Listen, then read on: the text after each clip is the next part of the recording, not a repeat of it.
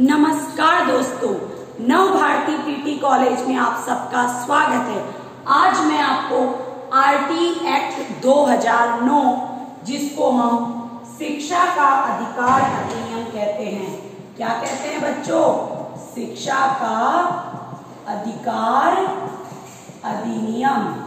ये शिक्षा का अधिकार अधिनियम पूरे भारत में 1 अप्रैल 2010 में लागू हुआ।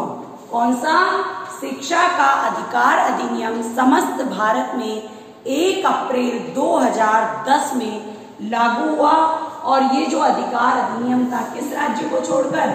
जम्मू एंड कश्मीर को छोड़कर समस्त भारत में लागू हुआ और ये पैंतीसवा अधिनियम माना जाता है। कौन सा अधिनियम?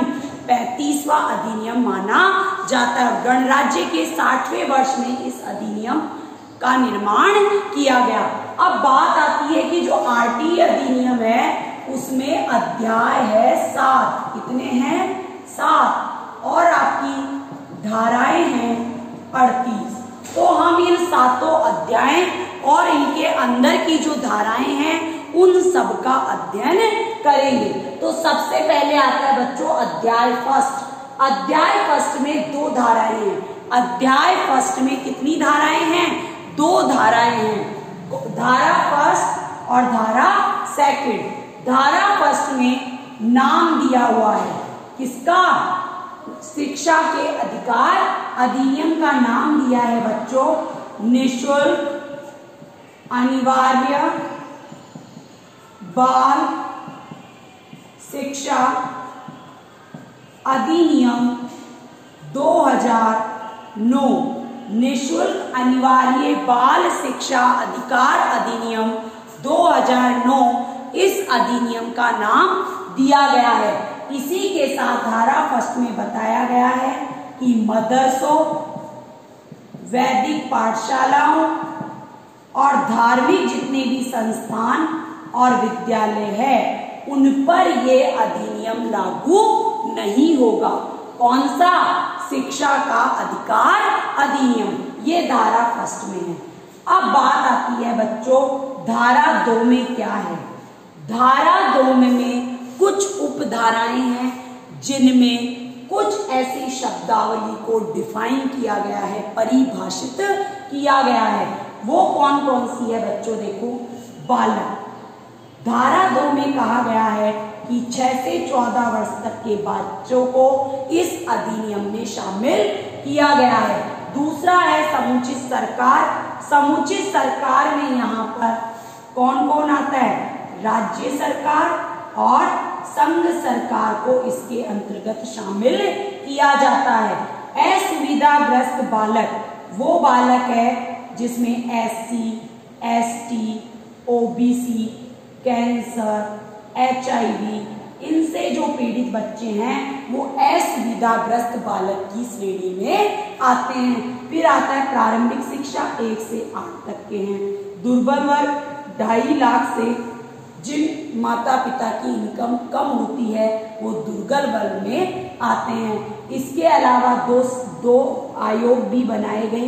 दो आयोगों की भी इसमें चर्चा है। एक राष्ट्रीय बाल अधिकार संरक्षण आयोग और राज्य बाल अधिकार संरक्षण आयोग जो कि शिकायतों का निवारण करते हैं।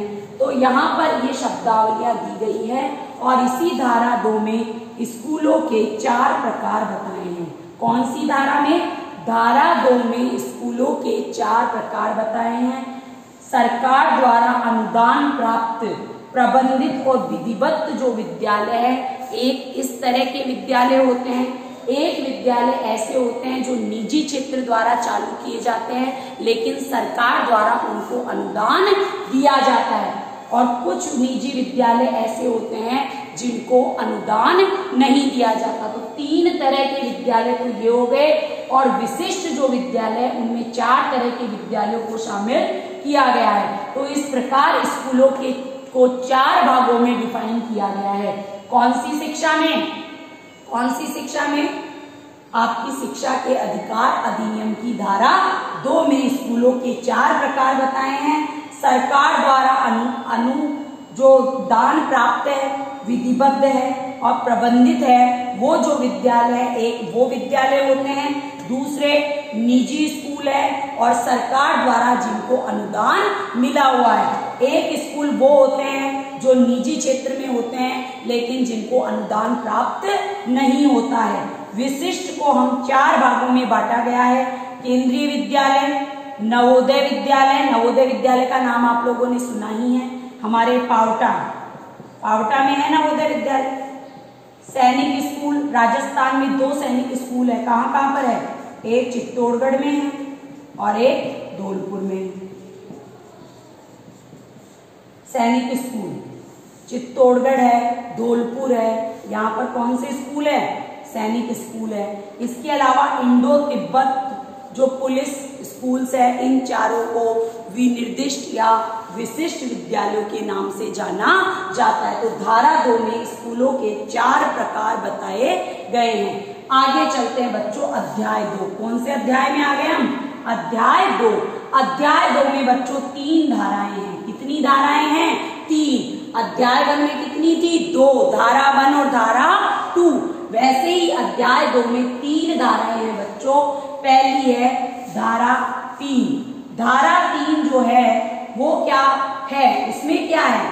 धारा तीन ये कहती है बच्चों, क्या? कि 6 से 14 वर्ष तक के बच्चों को निशुल्क शिक्षा प्राप्त करने का अधिकार है 6 से 14 वर्ष तक के बच्चों को निशुल्क शिक्षा प्राप्त करने का क्या है? अधिकार है। कोई भी विद्यालय उनसे शुल्क वसूल नहीं कर सकता। निशुल्क शिक्षा प्राप्त करने का अधिकार है। निशुल्क शिक्षा प्राप्त करने का अधिकार है। कौन सी धारा में है बच्चों? धारा तीन में इस बात का उल्लेख किया गया है। अब आता है बच्चों, धारा चार। धारा चार में क्या कहा गया है कि आयु के अनुसार बच्चे को प्रवेश दिया जाएगा। मतलब यह है कि कोई बच्चा अगर 10 वर्ष या 11 वर्ष का आपके पास में आता है तो उस बच्चे को आपको पांचवी क्लास में एडमिशन देना पड़ेगा। इससे पहले उसको तीन महीने का प्रशिक्षण दिया जाएगा। उसको हो सकता है ब्रिज कोर्स करवाया जाए, लेकिन उसको उसी क्लास में भेजा जाएगा जिस आयु वर्ग का वो बच्चा है।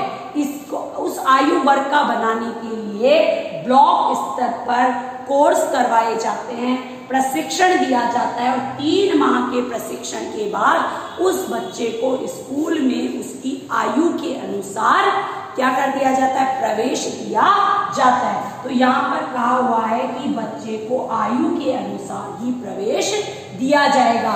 ये आपके अध्याय दो की धारा चार में ये बात कही गई है। अब बात आती है बच्चों, धारा पाँच। धारा पाँच में ये कहा गया है कि प्रधानाचार्य द्वारा अगर कोई भी बालक स्थानांतरण प्रमाण पत्र चाहता है या अपनी स्कूल को ट्रांसफ़र करना चाहता है तो प्रधानाचार्य का कर्तव्य है कि वो उसे स्थानांतरण का प्रमाण पत्र उपलब्ध करवाए। अगर प्रधानाचार्य ऐसा नहीं करता तो उसके विरुद्ध दंडात्मक या अनुशासनात्मक कार्यवाही की जा सकती है। तो धारा पाँच में यह है कि प्रधानाचार्य द्वारा स्कूल स्थानांतरण पत्र मांगे जाने पर विद्यालय को वो प्रमाण पत्र देना होगा। क्योंकि हो सकता है कोई बच्चा एट्थ तक है तो नाइन्थ क्लास में दूसरी स्कूल में जाना चाहता है या उसके माता पिता का ट्रांसफ़र हो गया है। तो कई कारण हो सकते हैं, लेकिन प्रधानाचार्य बाधित है कि प्रधानाचार्य को स्थानांतरण का प्रमाण पत्र उपलब्ध करवाना पड़ेगा। तो धारा पाँच में ये बात कही गई है बच्चों। तो अध्याय दो में कितनी धाराएँ हैं? तीन। धारा तीन, धारा चार और धारा पाँच। धारा चार, छह से चौदह वर्ष तक शिक्षा प्राप्त करने का बच्चे का अधिकार है। धारा चार आयु के अनुसार बच्चे को प्रवेश दिया जाएगा। धारा पाँच, प्रमाण पत्र। स्थानांतरण का प्रमाण पत्र प्रधानाचार्य को बच्चे को देना होगा। अगर कोई प्रधानाचार्य ऐसा नहीं करता है तो उसके विरुद्ध दंडात्मक और अनुशासनात्मक कार्यवाही की जा सकती है। अब आता है बच्चों, अध्याय तीन। कौन सा अध्याय आता है? अध्याय तीन। अध्याय तीन में ध्यान रखना। छह से लेकर ग्यारह तक। छह से लेकर ग्यारह तक क्या है? अध्याय तीन में जो है आपकी कितनी धाराएँ हो गई? छह धाराएँ हैं। कितनी धाराएँ हैं? छह धाराएँ। अध्याय तीन में कितनी है? छह। कितनी है? छह। धारा छह क्या कहती है? देखो बच्चों। समुचित सरकार व स्थानीय प्राधिकारी द्वारा समय, स्थान और स्थिति के अनुसार जगह जगह पर विद्यालय स्थापित किए जाएँगे। क्या स्थापित किए जाएँगे? विद्यालय स्थापित किए जाएँगे। धारा छह में कहा गया है कि समुचित सरकार व स्थानीय प्राधिकारी समय, स्थान और स्थिति को ध्यान में रखते हुए विद्यालय स्थापित करेगी। एक किलोमीटर के दायरे पर प्राथमिक विद्यालय होना चाहिए और दो किलोमीटर के दायरे पर उच्च प्राथमिक विद्यालय की स्थापना की जाएगी। एक किलोमीटर के दायरे पर प्राथमिक विद्यालय की स्थापना की जाएगी और दो किलोमीटर के दायरे पर उच्च प्राथमिक विद्यालय की स्थापना की जाएगी। ऐसा इस धारा में है और कहा गया है कि तीन वर्ष के अंदर इस अधिनियम के लागू होने के तीन वर्ष के भीतर समुचित सरकार और स्थानीय प्राधिकारी को विद्यालय स्थापित करने पड़ेंगे। ठीक है बच्चों? अब आता है धारा सात। धारा सात में समुचित सरकार की जो आपकी राज्य सरकार और जो आपकी केंद्र सरकार है, जो विद्यालयों या शिक्षा पर खर्च करेगी, उस वित्तीय खर्च किस प्रकार करेगी? संयुक्त रूप से करेगी। मतलब वित्तीय भार केंद्र सरकार पर भी होगा और राज्य सरकार पर भी होगा। तो हमारी जो ग्यारहवीं पंचवर्षीय योजनाएँ थी पंचवर्षीय योजनाओं का नाम सुना होगा, जिसको हमने रसिया से लिया है और भारत में 12 पंचवर्षीय योजनाएँ चली। इन 12 पंचवर्षीय योजनाओं में जो ग्यारहवीं पंचवर्षीय योजना थी, उसमें कहा गया कि 55 परसेंट तो देगी सेंट्रल गवर्नमेंट और चौवालीस परसेंट देगी स्टेट गवर्नमेंट। बारहवीं पंचवर्षीय योजना में इसको चेंज कर दिया और पैंसठ पैंतीस का आंकड़ा बना दिया। आज जो आंकड़ा चल रहा है बच्चों, साठ चालीस का चल रहा है, जबकि पूर्वोत्तर जो भारत है, वहाँ पर नब्बे परसेंट सेंट्रल गवर्नमेंट देती है और दस परसेंट वहाँ की राज्य सरकारें उपलब्ध करवाती है। ठीक है बच्चों? अब बात आती है बच्चों आठ, धारा आठ। धारा आठ में वित्तीय कर समझ में आ गया होगा। धारा आठ में कहा गया है कि समुचित सरकार के क्या क्या दायित्व होंगे। आप सब जानते हैं बच्चों, स्कूल के जो टीचर्स होंगे, उनको प्रशिक्षण उपलब्ध करवाना, उनको नियुक्ति प्रदान करना, इसके अलावा प्रशिक्षण संस्थानों की स्थापना करवाना, विभिन्न प्रकार के कार्यक्रम चलाना, स्कूलों का प्रबंधन करना, स्कूलों का प्रशासन करना, स्कूलों पर नियंत्रण स्थापित करना समय समय पर स्कूलों में निर्देशन सुविधाएँ या परामर्श सुविधा उपलब्ध करवाना, स्कूलों में चिकित्सकीय परामर्श सेवाएँ उपलब्ध करवाना, स्कूल बिल्डिंग, स्कूल प्रशासन, स्कूल का जो समय प्रबंधन है, ये सब आपकी समुचित सरकार के दायित्व होते हैं। धारा नौ में स्थानीय प्राधिकारी क्या करेगा? आप सब जानते हो कि उस क्षेत्र का जो नगर निगम है, आपकी नगर पालिका है, स्थानीय सरकारें ग्राम पंचायत है, सरपंच है, पंच है, वार्ड पंच है, इसके अलावा आपके जिला स्तर पर सी, जिला स्तर पर अनेक अधिकारी होते हैं, जैसे सी साहब है, ठीक है? सी डी डिस्ट्रिक्ट लेवल पे हो गया, इसके अलावा पी है, ठीक है? इसके अलावा ब्लॉक स्तर पर भी अधिकारी होता है, वो अधिकारी है। तो ये सब जो है, प्रवेक्षण करते हैं, निरीक्षण करते हैं स्थानीय स्तर पर। कि स्कूलों का प्रबंधन किस प्रकार चल रहा है, वहाँ पर बिल्डिंग्स कितनी बनी हुई है, कितने कमरे हैं, कितने और उपलब्ध होने चाहिए, वहाँ पर कंप्यूटर लैब है या नहीं है, वहाँ पर पुस्तकालय है या नहीं है, वहाँ पर खेल कूद का मैदान है या नहीं है, अधिगम सामग्री है या नहीं है तो इन सब चीज़ों को देखना स्थानीय प्राधिकारी की क्या होगी बच्चों? ज़िम्मेदारी मानी जाएगी। उसके बाद आता है बच्चों, धारा दस। धारा दस में माता पिता के कर्तव्य बताए गए हैं कि 6 से 14 वर्ष तक के बच्चों को शिक्षा दिलाना, उनको विद्यालय तक भेजना माता पिता का कर्तव्य है। हर माता पिता का कर्तव्य है कि अपने बच्चे को शिक्षा उपलब्ध करवाए। तो धारा दस में माता पिता के कर्तव्यों के बारे में उल्लेख किया गया है। इसके अलावा धारा 11 कहती है कि तीन से छह वर्ष तक के बच्चों को पूर्व प्राथमिक शिक्षा उपलब्ध करवाने के लिए आंगनवाड़ी केंद्र और बालवाड़ी केंद्र की स्थापना की जानी चाहिए। और आज समसा के तहत हमने एक से बारह तक के विद्यालयों को शामिल नहीं किया है। समसा कार्यक्रम के तहत हमने पूर्व प्राथमिक से बारहवीं तक के जो बच्चे हैं, उनको शिक्षा के, शिक्षा दिलाना दायित्व माना है समसा के कार्यक्रमों के तहत। तो तीन से छह साल तक के बच्चों को आंगनवाड़ी और बालवाड़ी की सुविधाएँ उपलब्ध करानी होगी। ठीक है बच्चों? तो आपने देखा, क्या देखा? अध्याय तीन में छह धाराएँ हैं। धारा छह में समुचित सरकार, स्थानीय प्राधिकारी स्कूल स्थापित करेंगे, समय, स्थान और स्थिति को देखकर इसका उल्लेख किया गया है। धारा सात में वित्तीय खर्च के बारे में उल्लेख है। आज केंद्र और राज्य सरकार का अनुपात साठ चालीस है, जबकि पूर्वोत्तर राज्यों में नब्बे और दस का अनुपात पाया जाता है। धारा आठ में समुचित सरकार के दायित्वों का उल्लेख है। इस धारा नौ में स्थानीय प्राधिकारी का प्रवेक्षण और निरीक्षण का उल्लेख है। धारा दस में माता पिता के कर्तव्यों का उल्लेख किया गया है और धारा ग्यारह में आपके आँगन तीन से छह वर्ष तक के बच्चों के लिए आंगनवाड़ी और बालवाड़ी कार्यक्रमों का उल्लेख किया गया है। तो ये आपने अध्याय तीन देखे। अब बात आती है बच्चों, अध्याय चार में क्या है? आपने अध्याय देखे, अध्याय एक, अध्याय दो और अध्याय तीन तीन अध्याय मैंने आपको कंप्लीट करवा दिए।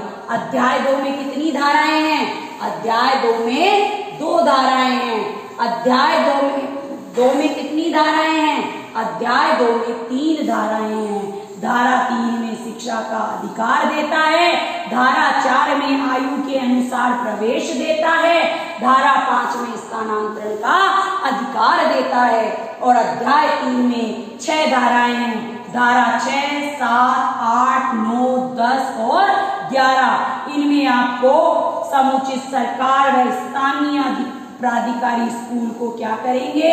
स्थापित करेंगे बच्चों। अब बात आती है बच्चों, अध्याय चार की, जो आपके शिक्षा के अधिकार अधिनियम का सबसे बड़ा जो अध्याय है बच्चों, वो है कौन सा? वो है आपका अध्याय चार। देखो बच्चों, अध्याय चार की अगर हम बात करें तो किसकी बात करें? अध्याय चार की अगर हम बात करें तो अध्याय चार में क्या है? अध्याय चार सबसे बड़ा है और आपका धारा बारह से लेकर अट्ठाईस तक। अध्याय चार। ठीक है? अध्याय चार है बारह से लेकर अट्ठाईस तक। कहाँ तक है? बारह से लेकर अट्ठाईस तक। और आपने अभी देखा, अध्याय तीन है छह से लेकर ग्यारह तक। अध्याय दो है आपके। कहाँ से कहाँ तक है? तीन से लेकर पाँच तक है तीन, चार और पाँच। ठीक है बच्चों? ये तीन चीज़ें हमने देखी। अब बात आती है अध्याय चार। अध्याय चार में हम धारा बारह की बात करते हैं। किसकी बात करते हैं? धारा बारह की बात करते हैं। धारा बारह में क्या कहा गया है? कहा गया है कि जो आपके दुर्बल वर्ग है, कौन सा वर्ग है? दुर्बल वर्ग है। इसके अलावा असुविधा। असुविधा ग्रस्त जो बालक है, दुर्बल वर्ग असुविधा दुर्बल वर्ग, ढाई लाख से कम income S C S T और पिछ वर्ग, ठीक है? ये जो बच्चे हैं, उनको निजी स्कूल अपने विद्यार्थियों के 25 परसेंट निःशुल्क शिक्षा उपलब्ध करवाएगी। और ये जो शुल्क देगा, उसका भार किस पर होगा? राज्य सरकारों पर इसका भार होगा।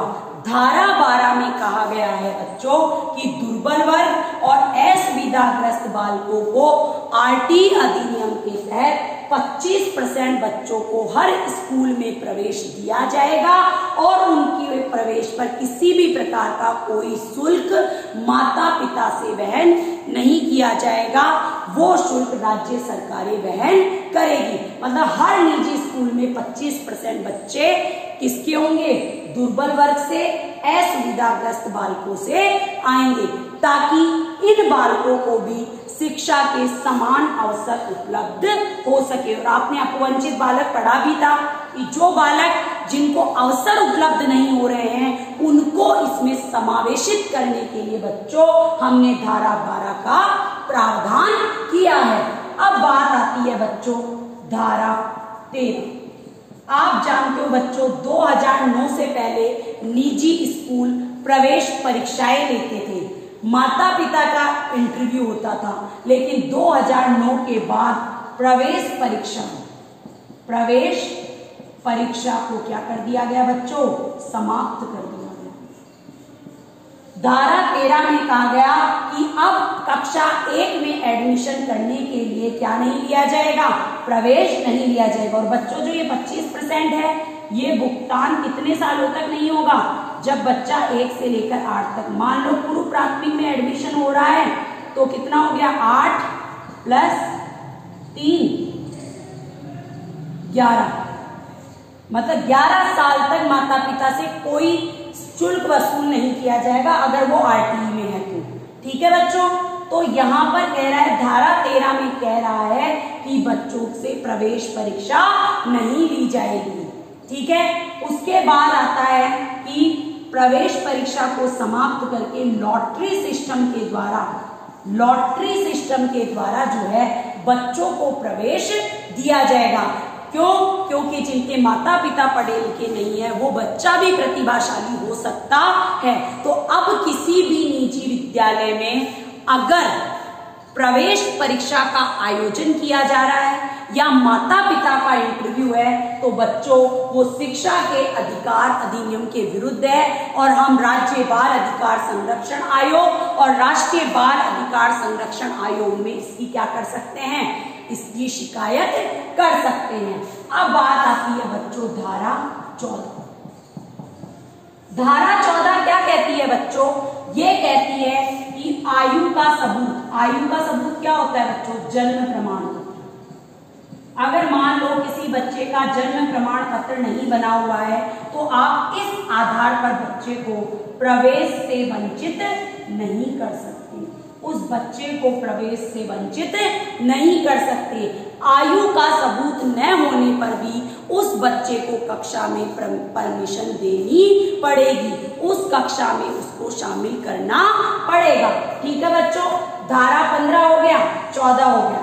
अब बात आती है धारा पंद्रह में क्या है? तो देखो बच्चों, धारा पंद्रह, यहाँ तक ही पढ़ेंगे।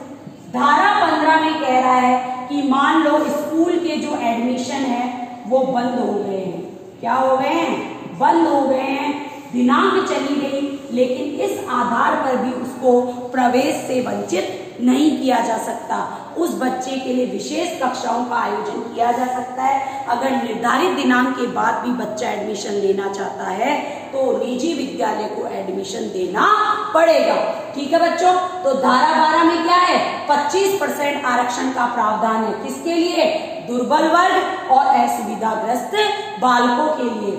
धारा तेरह में क्या है? प्रवेश परीक्षा का आयोजन किया जाए, नहीं किया जा सकता। लॉटरी सिस्टम के द्वारा बच्चों को प्रवेश दिया जाएगा। धारा चौदह में कह रहा है कि आयु का प्रमाण पत्र न होने पर भी बच्चे को प्रवेश से वंचित नहीं किया जा सकता।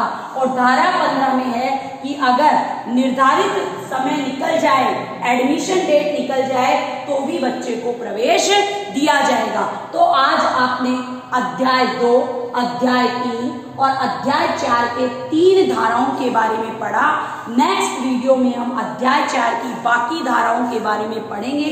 आप चाहते हैं मैं इसी तरह से आपके लिए वीडियो बनाती रहूँ तो आप Nav Bharati study circle channel को सब्सक्राइब करें लाइक्स कीजिए शेयर कीजिए, और आप चाहते हैं कि ये अधिनियम आपको समझ में आए तो पूरा वीडियो देखे, समझे, क्योंकि ये सभी एग्जामों के दृष्टिकोणों से ये वीडियो आपके लिए बहुत ज़्यादा इंपॉर्टेंट है।